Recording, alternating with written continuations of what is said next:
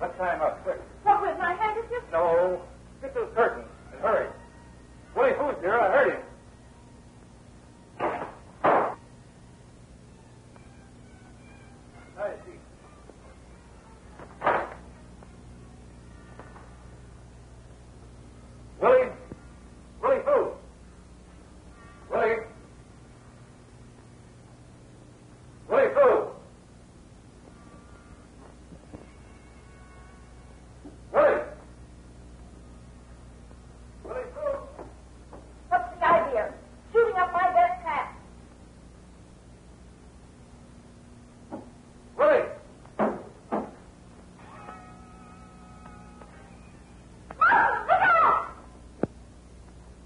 What's that, Willie? I nearly got you. Give me that curtain rod, quick.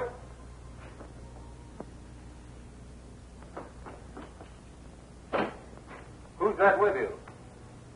Aged Chinese gentleman, witness for misery and woe. Give me that curtain rod, quick.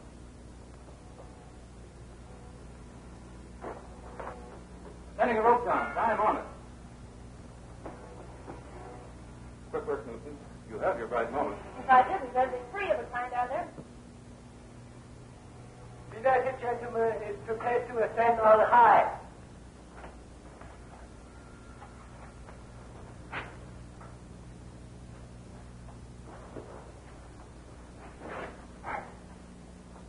Take care of it.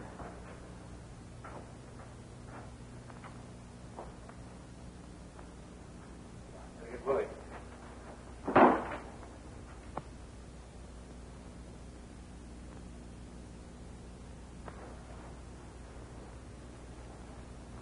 Come on. There we are.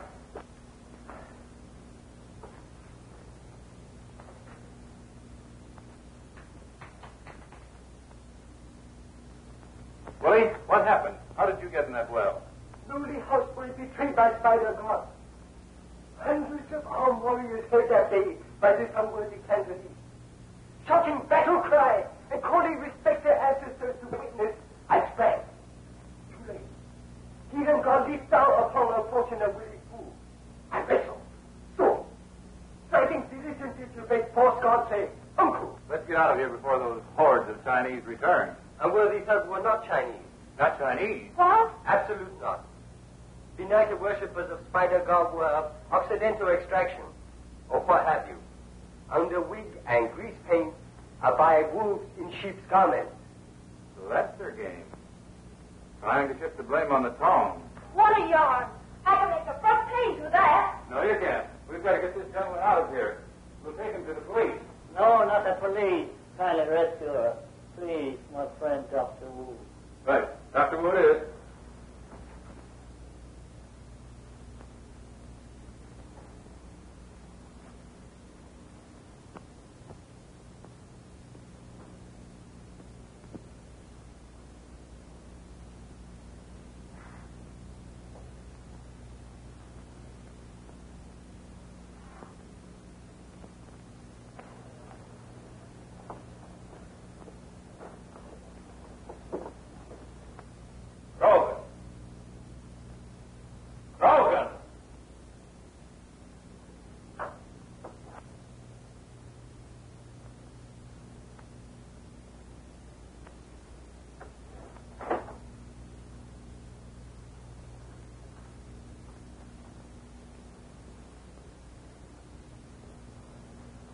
Dr. Moon, this gentleman asked to be brought here. Thank you, Mr. Angel. You're near, you're lying, you're lying right down This unworthy garment becomes beautiful and worn by lovely ladies. Twenty dollars, please. Only twenty dollars? Unfortunately, lovely lady is stony broke. Someday I'm going to do a Sunday special on why all authors are stingy. Oh, are they? Well, what happened? Speak up. It was Andrews and that newspaper girl. And those two? He got them both out alive. Sometimes I think I put you into the pit. Long ago. Oh, yeah? Well, we'll all be in a who's if you're not careful. Willie Fu just broadcast that all your Chinese are fakes.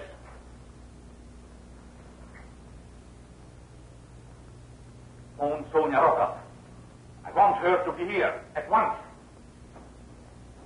Could I further impose upon your bounteous kindness to ask that you accompany me to a meeting of my fellow merchants? Your name was mentioned to us by this valuable young lady. Uh, voluble doesn't half express it, Doctor. Sure we'll go, Doctor. Marty's crazy to help you, and it'll be a swell break for me. They put me out of the last meeting, you remember.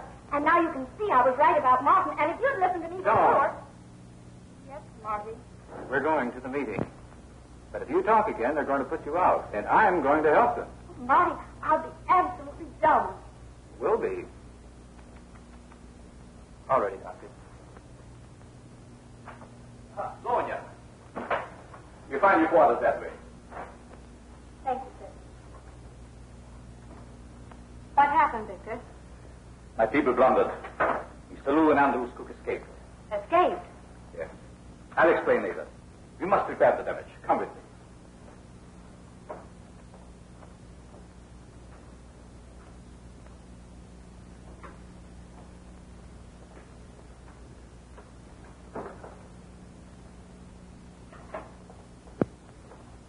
You know, Victor, your inventions fascinate me.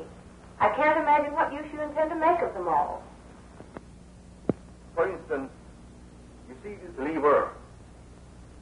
It closes the door of a room and automatically starts the walls slowly moving towards each other. I see no practical use for that. No. Suppose I wanted some information, and you, uh, being misguided, would refuse to give it to me. If I should put you in that room and throw that lever, you know, I think you'd talk.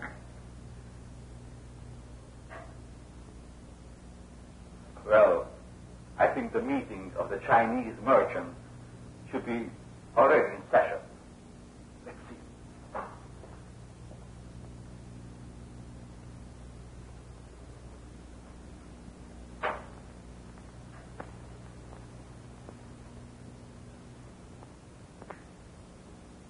We a vote of thanks to eminent authors. We of Chinatown are also indebted to our worthy countryman, Mr. Fu. His discovery of this Skype man is the first long step toward solving the mystery that threaten our lives and fortune.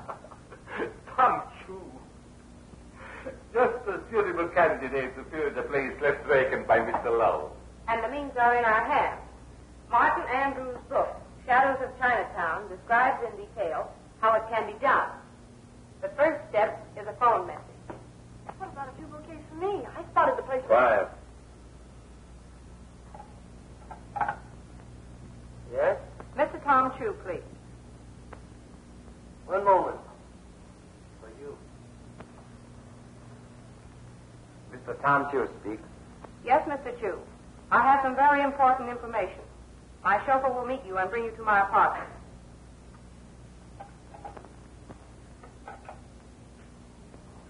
Miss Low calls wants me to go to her apartment pleasantly.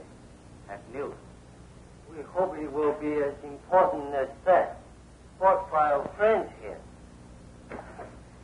Gentlemen, doctor, Mr. Tom Chu. It's my business to get news. I think I should go along with Mr. Tom Chu. The readers of my paper have a right to know what it's all about. If Miss Rokoff has any information, I want it. Sorry, I warned you. Out you go. Can I stay, Dr. Wu? In Chinese council, wisdom of women is of little value. Word of her lord and master is law. He's not my lord and master. I'm sorry. Wait for us in the car. These gentlemen have a right to conduct their meeting without your interference. That's what you think. What about the freedom of the press? The Constitution Says says... that this is a man's world and you're just a poor, weak woman. That's not what the Constitution says.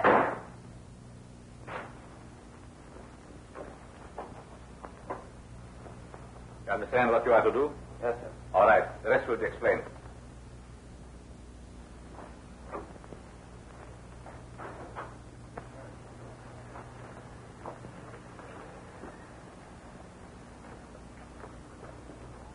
Tom Chu?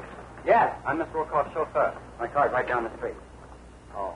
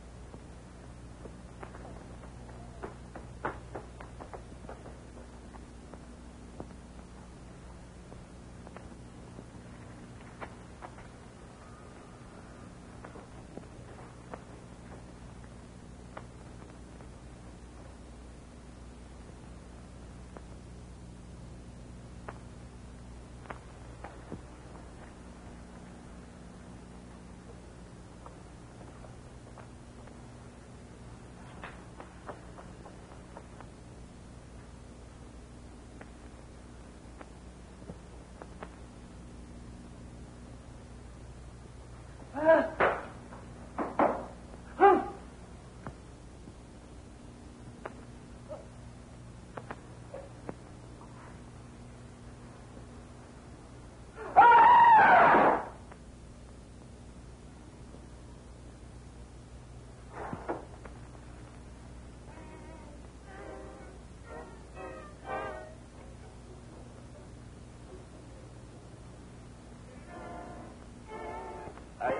Can consider the incident come Chu close.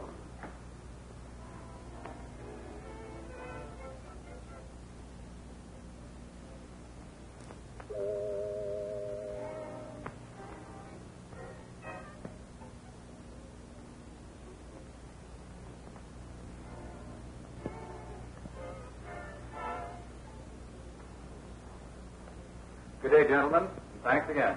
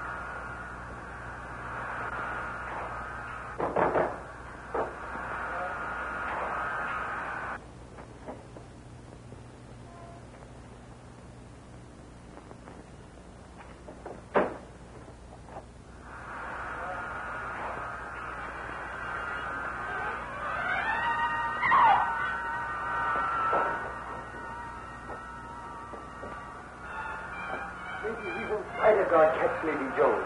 We hope not. No, she wouldn't be fool enough to go near that thing. Jones?